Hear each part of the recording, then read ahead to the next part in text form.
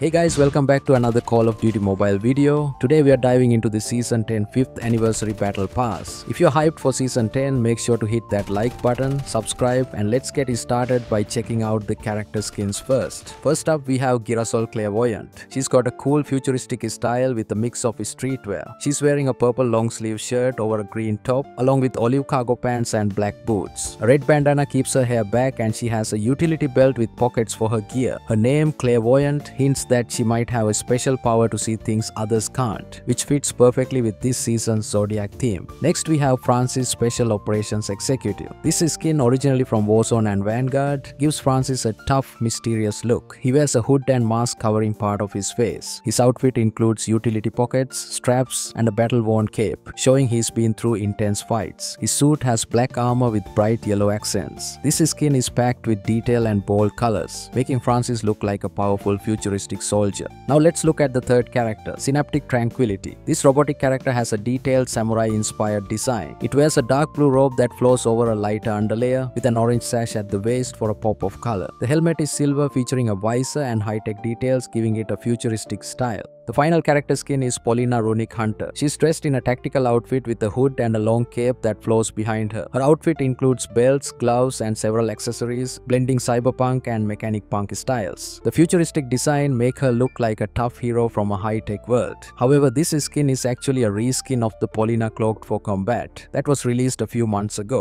These character skins definitely have a unique vibe. They're not the usual flashy or bright styles, but lean more towards a blend of futuristic and practical design. They've gone for a subtle cyberpunk meets streetwear feel rather than full military aesthetics, which might appeal to players who enjoy something stylish but not overly attention grabbing. They're cool in their own way, even if they're not my top choice for vibrant skins. What do you think? Do you prefer the more understated designs or the bold flashy ones? Now let's take a look at weapon skins you will see inside of this battle pass. First skin we're gonna take a look at is the USS-9 The Lovers. This is the battle pass skin for the new functional weapon. This gun skin features a metallic design with a rich dark pink and purple color scheme. The body of the gun is decorated with silver patterns, diamond shapes and spiral accents. It has a padded quilted texture around the handle and stock. The gun stop has a set of wings extending outward, giving it a unique fantasy-inspired look. If we talk about the iron sight, of course, because they want to sell the brand new Mythic, they still kept the default ghost ring on this iron sight. Next weapon skin we have is Koshka Illusory Moon. The skin has a bold, futuristic design with a blue and green color scheme. The body features green, crystal-like accents with silver details, forming geometric patterns along the barrel. A large silver star emblem decorates the middle section. The rear section includes circular mechanical details, giving the gun a sci-fi vibe. The overall look combines elegance with a powerful otherworldly aesthetic. Going on to the next gun skin, we're gonna get FFAR-1 Surrenderer. This gun skin features a dark design with a mix of black and red colors. The body of the gun has unique geometric patterns including diamond shapes and eye-like symbols. A striking detail is depicting a character with red hair in an upside down pose, adding a rebellious or haunting touch. I actually really like this blueprint and I think this is my favorite one in this battle pass especially because it comes with a pay to win iron sight. Now we're gonna move on to the fourth weapon blueprint which is R90 Brushed Lion. The gun skin has a mix of purple and dark blue hues as its primary colors, accented with black and white detailing. A fierce lion's head is visible near the center of the body, adding a strength and elegance to the skin. Geometric patterns and tribal inspired shapes are also integrated along the body of the weapon. I've got nothing else and anything good to say about this skin. Now we move on to the final gun skin in the battle pass, M4 Long Ace. This gun skin features a regal and metallic design with a silver and black color scheme, accented by gold highlights.